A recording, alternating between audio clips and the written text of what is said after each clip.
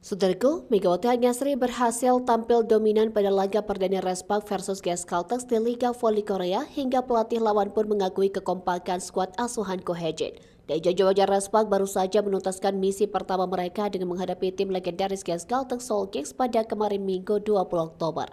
Bermain di kandang sendiri Chungmo Gymnasium, Daejeon Respak berhasil menang strike set alias 3-0. Performa apik ditunjukkan opposite hitter asal Indonesia, Megawati Hanyasri Pertiwi. Mega sukses meraup 16 poin termasuk sukses melakukan 3 blok dan 1 service ace. Dari data statistik, tingkat keberhasilan Mega mencapai 80%. Namun bukan hanya kekuatan Mega saja yang menonjol, duetnya dengan Fajar Bukilik juga patut diacungi jempol. Belum lagi sisi pertahanan Respak yang kali ini tak terbendung. Park Anji hingga Pyo Song Jo yang baru debut juga menampilkan aksi yang memukau. Kohajin selaku pelatih Respak pun bangga dengan penampilan anak didiknya. Hasil ini turut menambah kepercayaan diri tim karena laga pertama biasanya selalu tidak mudah. Di sisi lain, pelatih Gas Caltex Leontek tak memungkiri bahwa permainan Respa kemarin memang sangat hidup dan berhasil menemukan titik lemah timnya.